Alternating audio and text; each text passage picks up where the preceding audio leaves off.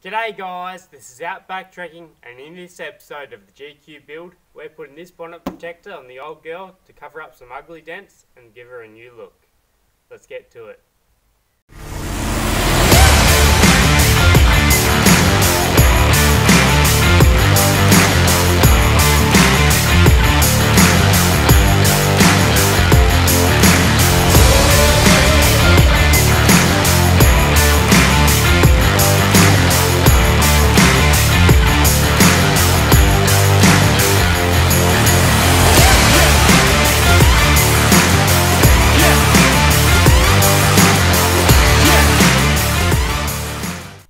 So for this bonnet protector and weather shields, I've opted for Ocam 4x4 accessories. I think that's how you pronounce it, Ocam. Um, I bought these online. reason I went with them is it comes with the weather shields for the wagon and bonnet protector, instructions, and everything you need to assemble it.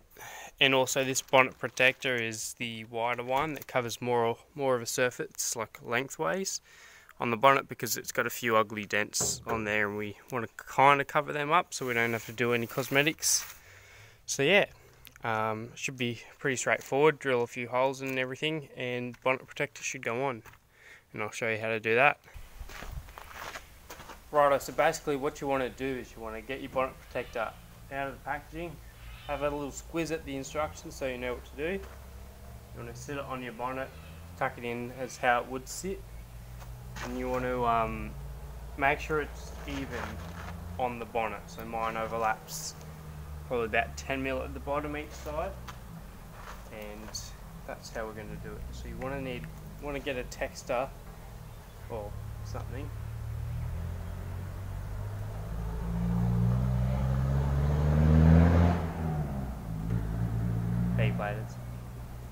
You're going to lift the bonnet up making sure you don't move the bonnet protector. You're going to mark in there where the hole is with the texter or something so you know where to drill.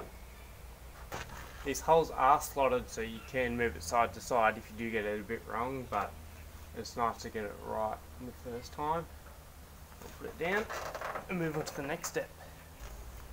Righto, so for this next step of drilling the holes you want to take the bonnet protector off, got it sitting over there, and you want to need a drill. Get some drill bit, preferably ones that go up to the size of 8mm, because that's what you're going to need. Now I'm going to pre-drill mine with a 4mm drill bit, just so it makes the drilling a little bit easier on the 8mm, and so when I am drilling it doesn't punch through the bonnet like I've seen some people do. So we'll get to that and drill these holes in the centre of that crossways slotted hole.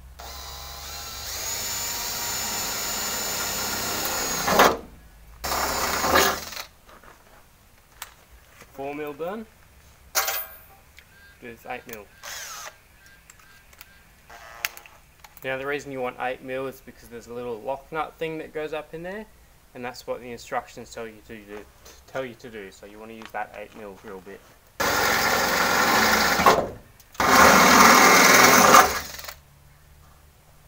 Cool.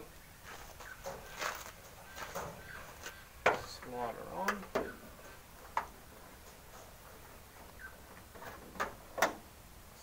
line up. Looking really good. It's cool. we're going to take this off and we're going to clean it. Right, so in your little baggie you get a little alcohol wipe. And use this little alcohol pad to wipe everything down so it's clean. And those sticky pads we're going to put on later will stick. So let's put the bonnet down.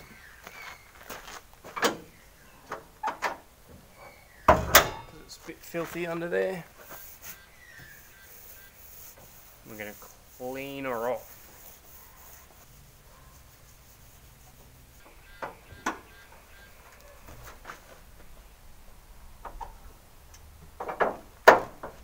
Okay, I'm going to clean around those holes and just under that lip. Now we're going to get our bonnet protector, put it back on.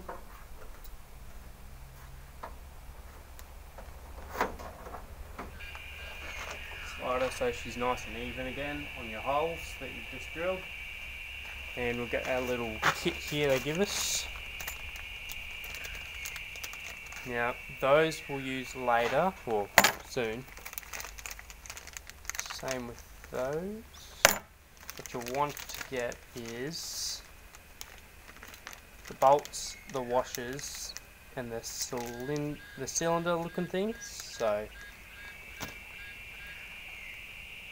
you want to get two of those bolts, two of these washers, and two of these, which are like little self tapping self-tapping nutsert sort of things if you can see that which you put them in the bonnet and you put your, your nut in not your nut sorry your, your bolt and up here it expands so it can't come out until you take this out which is good. So I'm just going to get a screwdriver Right, so you want to get a suitable screwdriver that fits your bolt. You want to get one of these, one of your bolts, and one of your washers. And I'll do this first one up over here. So what you want to do is, just going to slide this back so I can see the hole. Get your little self-tapping thing, push it up in there, slide the bonnet protector over it, make sure it's central get your washer, put it on your bolt, and thread it through. You want to get your screwdriver.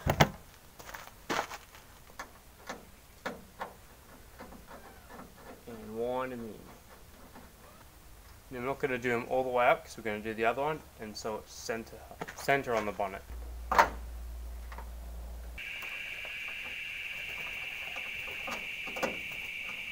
Now what we're going to do is we're going to check it is centre on the bonnet. I don't think it is at the moment. Push that one up. I'm using my hole to align it. a bit more.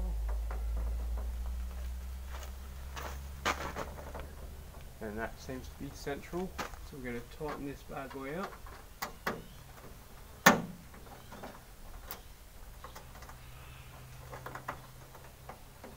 Next step is you want to get your little chunky pieces out. These are for these holes in the corner here. Um, right, I just dropped you there for a minute and realised, you know what, I, you can't actually see me doing this. So, I'm just going to put this in. Alright, that one's in there nice and tight. That's how you want to do it. So basically, button on top, bonnet protector, your little plastic bit, abrasive tape thing, or non-abrasive tape, little metal thing, and your screw. So that's how you put that in. I'll show you the other side. So we're getting our tape.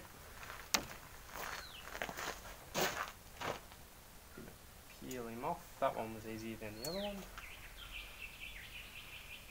Find our hole. Put that under there. Get your little block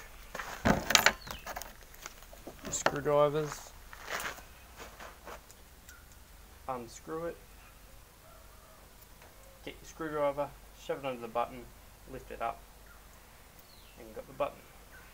So, what you want to do, shove the block under the bonnet protector, the button, line up with the hole, push it down, and that locks that in place. Then you want to get the screw, the little stainless steel leg, screw in the hole, and screw it in there. Boom, Bob's your uncle.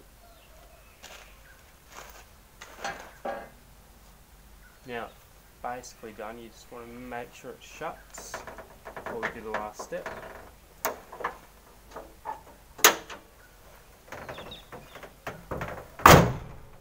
Cool. Shuts. Next step is in your little baggie of things, which is empty. You get these little things, little anti-vibration pads. So you want to look under your bonnet, under your bonnet protector, at where it actually hits the bonnet. If you don't want it rubbing on that. And wherever it touches, you want to put one of these little things under there, just so it doesn't vibrate on the bonnet and rub the paint off. So I'm going to put some in the middle and one on the side where it sits up a bit. We'll get to that. Lift it up, place it down, push it in, and now it doesn't rub there. And that is how you do the bonnet protector on your GQ Patrol or 60 series or whatever you want to put it on. Basically the same process. Drill a hole, screw some things in, lock it in, anti-vibration pads, and you're all set. Let's have a look.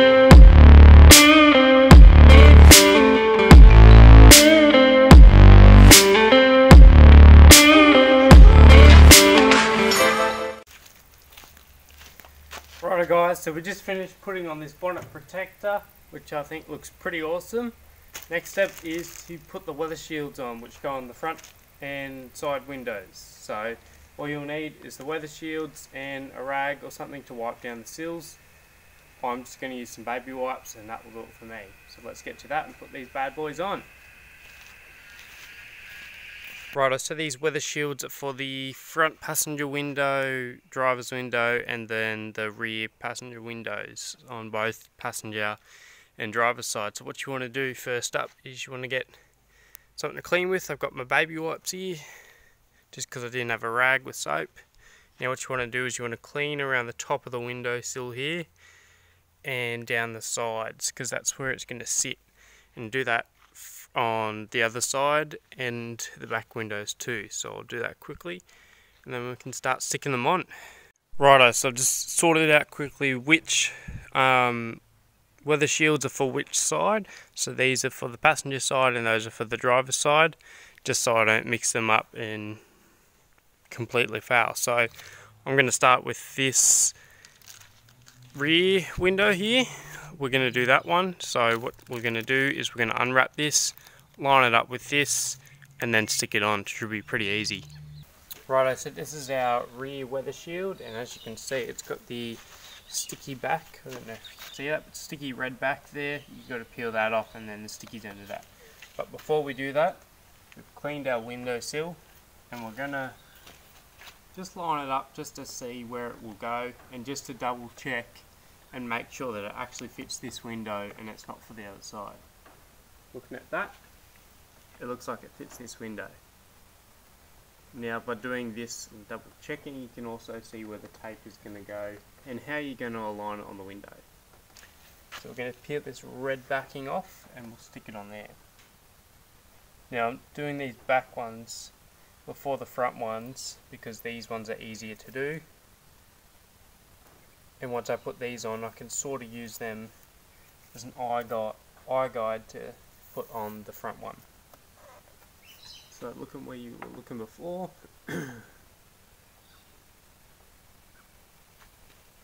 Nice and straight.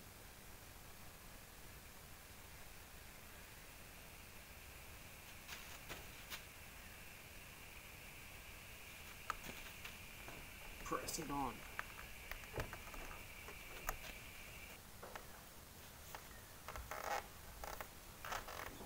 good. Do the front one now.